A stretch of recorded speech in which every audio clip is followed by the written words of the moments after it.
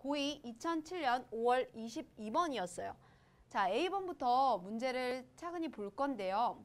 자, A번에 우선 먼저 너 여기 분사를 쓸래, 동사를 쓸래? 라는 걸 묻는다면 접속사가 있는지를 확인해 보세요. 지금 병아리콩은 8에서 40인치 자란다. 높이가. 그리고 나서 접속사가 없죠. 분사 써야겠죠. 그 가지를 사방으로 퍼뜨리면서 그래서 뭐뭐 하면서 자 B번은 선생님이 어, 선생님 전치사 플러스 아이 전치사 플러스 바이라는 전치사 다음에 명사가 나올 수 있다고 했단 말이야. 선생님 근데요. 얘도 명사고 얘도 명사잖아요. 그럼 이거 문제 못 풀어요. 얘는요.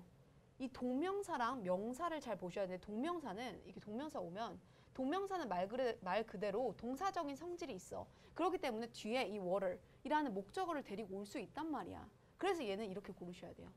둘 다 만약 명사라고 생각하면 둘 다 답이 될 수 있지만 이 뒤에 구조를 정확하게 보셔야 돼요. 병아리 콩이 저항할 수 있다. 가뭄에 뭐하면서 추출하면서 물을 깊은 층으로부터 이렇게 자 그리고 어, 각각의 플라워 얘는 생산합니다. 봉오리를 생산해요. 어떤 것이냐면 자 선행사가 단수인지 복수인지를 봐야 되는데 단수잖아요. 그러면 지금 단수 동사를 써야 되니까 appears 부푼 것처럼 보이는 그러한 short but 이렇게 해석하시면 될 것 같아요. 자 B번이 조금 헷갈렸던 그런 문제였습니다. 자 문제풀이 여기까지 진행할게요.